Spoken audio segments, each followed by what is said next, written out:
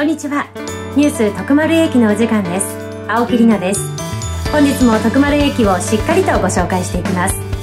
最近の徳丸駅を皆さんと振り返っていきましょう。ではまず最初のニュースです。徳丸駅さんのお仕事についてお伝えします。まずは3月某日太良町の山奥にタケノコ掘りのロケに行ったニュースです。初めてのタケノコ掘りに大変苦労した様子です。掘ったタケノコを料理し食べた感想は春が来たなと話していました。続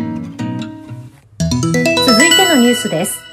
徳丸英樹さんはラジオの生放送を担当しています。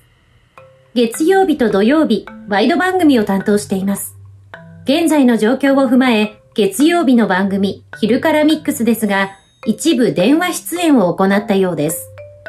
土曜日の番組、ラジオキングでは、それぞれスタジオを分けての放送を行っています。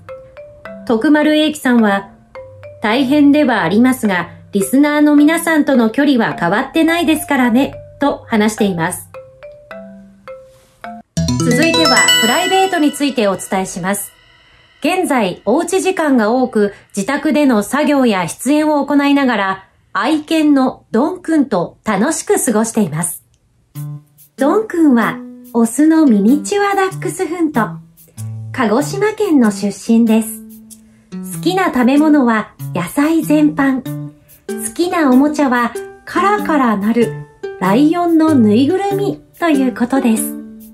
続いてのコーナーです。それではここからはあなたに送るビデオレターのコーナー。今日届いているのは佐賀市にお住まいのペンネームドンの相棒さん。母の日ということで離れた場所に住むお母さんに向けたビデオレターです。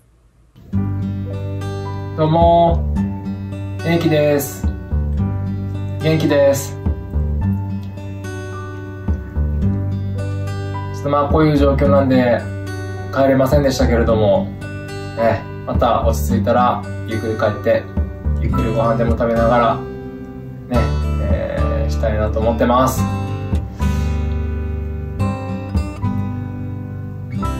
大変だと思いますけれども本当にいつもありがとうございます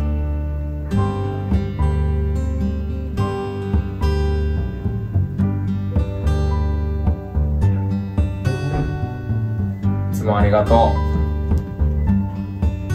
素敵なビデオレターでしたね。早くこの状況が収束することを願います。さあ、お送りしてきましたニュース徳丸駅。いかがだったでしょう？話題のニュース盛りだくさんでしたね。皆さんの明日が素敵な一日になることを願います。それではまたお会いしましょう。ニュース徳丸駅でした。